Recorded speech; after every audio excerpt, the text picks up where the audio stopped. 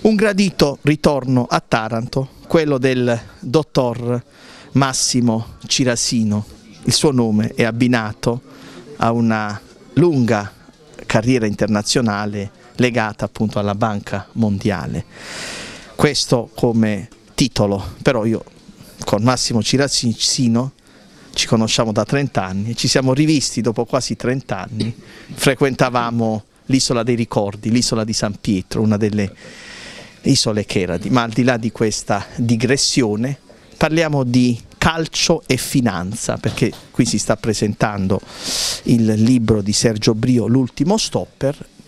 oramai il calcio, diciamocelo, è sì formalmente un gioco, però nella realtà gravita in un, in un, mondo molto grande, ci sono dei giochi di potere, degli interessi economici di natura mondiale. Certo, intanto piacere vederti e, e piacere essere qui a Taranto, Vabbè, qui oggi sono in veste di amico di Sergio e di tifoso della Juventus. E... Come mostra la maglia? Mm, dici bene, effettivamente se prendiamo il paragone con i tempi di Sergio, eh, il calcio di adesso è un'esplosione non solo dei numeri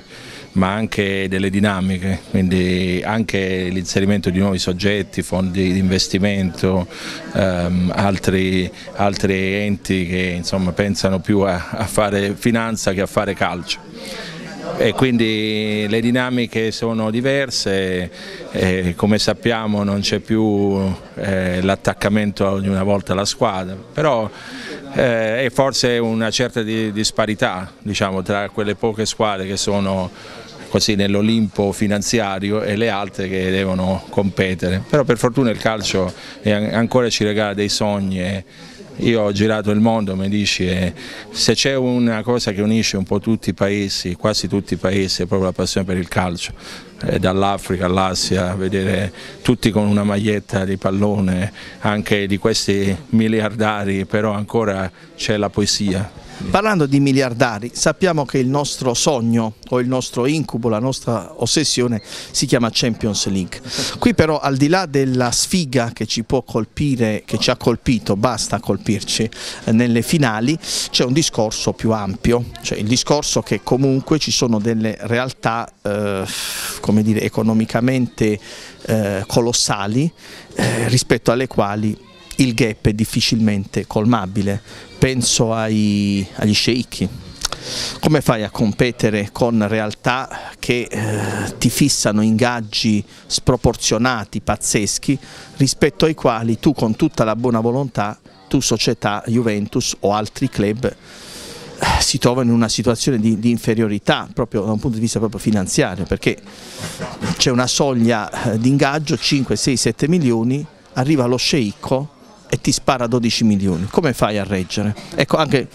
contemperare, dire, eh, una sanità finanziaria, chiamiamola così,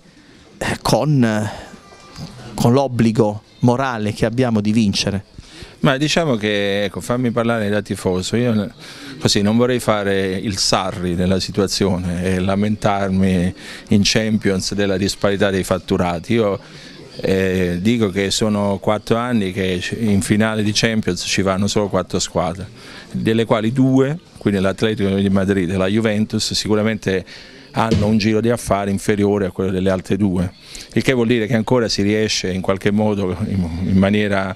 creativa a, a, ad essere dentro questo gap. Una Però, finanza creativa dovremmo dire. Sì. Diciamo che la Juventus in particolare in Italia è pioniera nel sfruttare nuovi filoni di, di finanziamento, quindi tutto l'indotto, adesso quest, da quest'anno anche le ragazze stanno creando un indotto importante per la vendita di magliette e quant'altro, eh, quindi diciamo che bisogna cercare di sopperire all'assenza di capitali freschi con qualche idea in più quello forse bisogna fare.